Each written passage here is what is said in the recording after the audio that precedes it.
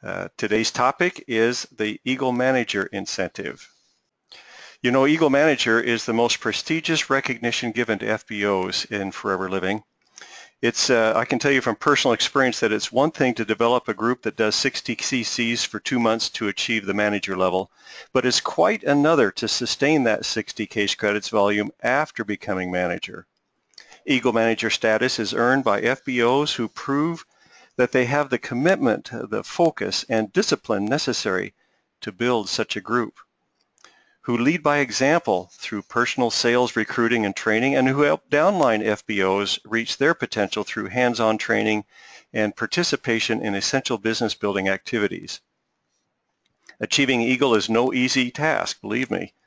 It requires a lot of effort to sponsor and develop new people while at the same time motivating and helping an existing FBO base. But the effort is well worth it.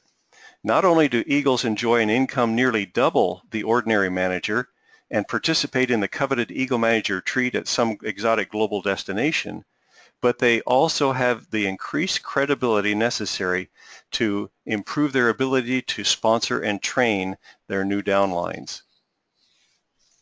Eagle Manager status is earned and renewed each year by meeting the requirements after becoming a recognized manager. Remember, all of these requirements have to kick in or have to begin after you achieve recognized manager.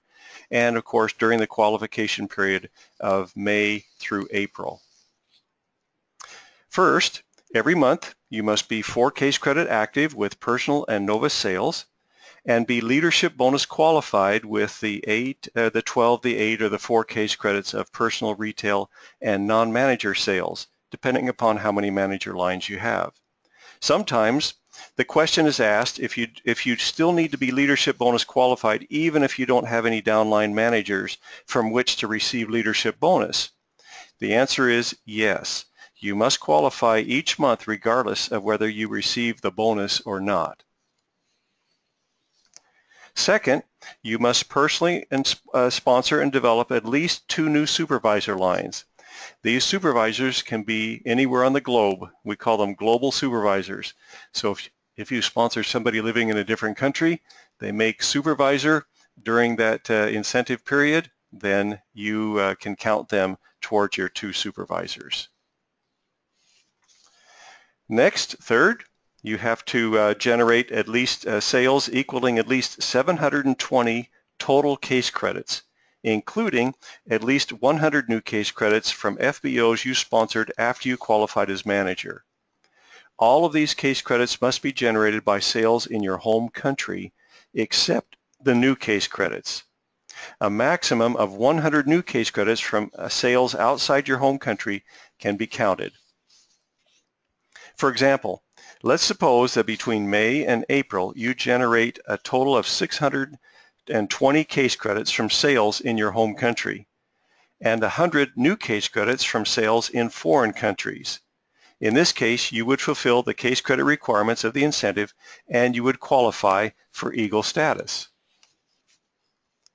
Now let's suppose that you generate six, only 600 case credits from sales in your home country and 120 new case credits from sales in foreign countries. In this case, you would not qualify because you can only count a maximum of 100 new case credits from sales outside of your home country. The 600 cc plus the 100 maximum foreign new cc brings you to 700, which is 20 cc short of the total case credit requirement. Now I will add here that you have no limit to the number of new case credits in your home country. You can have three or four hundred and they all count as long as they're in your home country.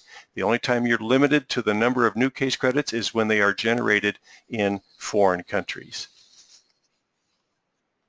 This incentive also provides a fantastic opportunity for senior managers and above to not only dramatically increase their income, but also qualify as Eagles themselves by working with their downline FBOs to help them reach Eagle.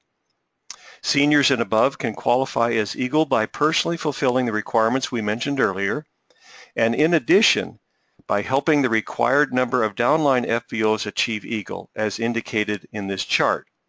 Each of the downline Eagles must be in a separate sponsorship line and does not have to be first generation and they do not have to be in your home country. They can be in any uh, anywhere else in the world.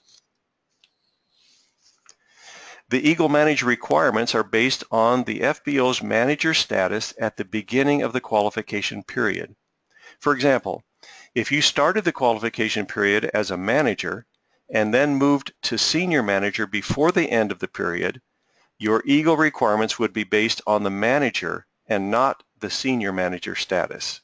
So whatever you begin as, that's what we use to judge your qualification for the remainder of the year, no matter if you move up to uh, uh, more recognition levels such as uh, senior, soaring, sapphire, and so forth.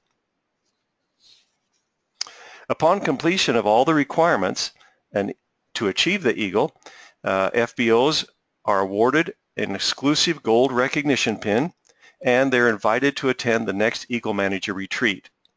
This will include airfare for two and three nights lodging, an invitation to the exclusive Eagle Manager training, and access to all events relating to the Eagle Manager Retreat.